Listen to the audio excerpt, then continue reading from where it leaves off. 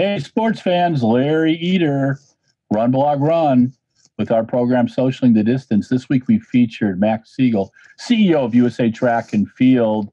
Um, Max is a uh, likes to people to see that his actions uh, speak louder than his words a lot of times. But I thought for the last 40 minutes, um, he was very transparent. He talked about the sport. Uh, no subjects, so you know, were off limits. I didn't get any of that stuff, which um, I have had people in the past try to do that to me, but Max didn't do that at all. Um, I like that he's a straight shooter. Um, I like his background coming from NASCAR. Um, and what we talked about, first of all, I congratulated him on getting involved with the American Track League in a big way. And he gave credit where credit's due to Adam Schmeck, uh, the USATF producer who handles a lot of the programming.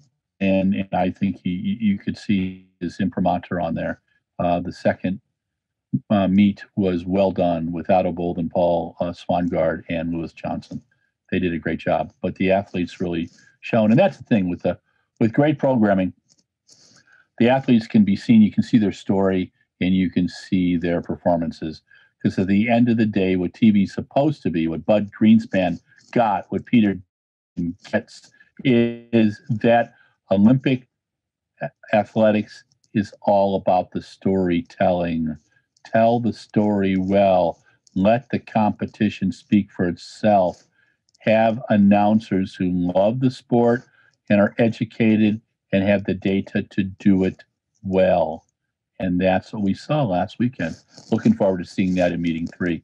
But we had several other topics that we talked about. Uh, we talked about Mike Conley becoming the chair of the USATF uh, board. Uh, also, did not know that Max did not vote on that at all because uh, he's kind of ex officio. Um, talked about their challenges a, a bit. He alluded to some of the standards that the USOPC um, now requires USATF, which is one of their biggest federations, requires them to do. Uh, he talked about the IOC and some of the challenges they have, and how, yes, he'd love to see cross country in the Winter Olympics, but right now that's not to be. I think at the end of the day, Max strikes me as a pragmatist. Um, and uh, he has uh, about $40 million a year from Nike to use to build the sport. At one point, I called the USA Track and Field the Pied Piper of athletics, which is what I think they should be doing, leading and throwing things into different pots and trying to help, you know, a, a throw meet here, a, a pole vault magazine here, um, uh, Paul Doyle's meets here, Mark Wetmore's meet. That's how they should be doing it and letting um, free market forces kind of uh, build help build the sport because I think they can. Um, he did say, and I'd like to hear that, that he'd like to see more meets in the U.S. Um, we talked about whereabouts for a little bit because you know the truth is uh, I can't blame USATF about whereabouts. This is WADA and USADA, and uh, but they do educate the athletes, and we kind of gave it the importance it's supposed to. Um, we talked about I, I, wanted to hear from him about the atlanta olympic trials and that those six athletes will be on the olympic team. He does believe that the olympics will actually happen in 2021 we've got eugene in 2022 um, and uh, i threw a, a, softball at him about just his favorite olympics and he talked about london 2012 taking his kids there and his family and getting to enjoy that. As uh, first time he was leading USA Track and Field. Um, what you get in, in, in speaking with Max Siegel is that there's a thoughtful man there. Um, and I think we, we all see different um, parts of him. I think the managers and agents have seen a part of him. I think the athletes see a different part of him. I think his board and his staff sees another.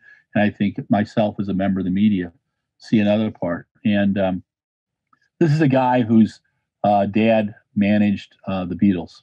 Um, he's been in entertainment his entire life. He is a uh, in. You should check out his autobiography, which you can find it on Amazon. Fascinating story as a kid. It'll help you understand uh, some of the trials and tribulations he's been through and why he is the way he is. But also, and this is something you you've got to understand. Nike would not have signed that forty million dollar deal if Max Siegel wasn't there. Um, and I've heard this from several folks in the land of the swoosh. They were impressed with him, uh, including the former, um, including some leaders here. I don't want to get anybody in trouble, but uh, Max Siegel impressed USATF to the point that they put money into the sport until 2043, is it? You know, and uh, it's a testament to the most winning team in all of, of USA sports is track and field since 1896, baby. Don't knock it. So Max has got a lot to lead. You know, he's got 1.4 million high school kids. He's got a couple hundred thousand college kids. He's got millions of runners and walkers. Um, and his job is to put as many medals, Olympic medals, World Championship medals, in the coffers for the USOPC to grad to brag about and to get donations off. And there are times when USA Track and Field has to go its own path, but he's been able to juggle that, and I find that fascinating. Uh, so, thanks, Max Siegel, for 40 minutes, uh, 39 minutes and 40 seconds, actually.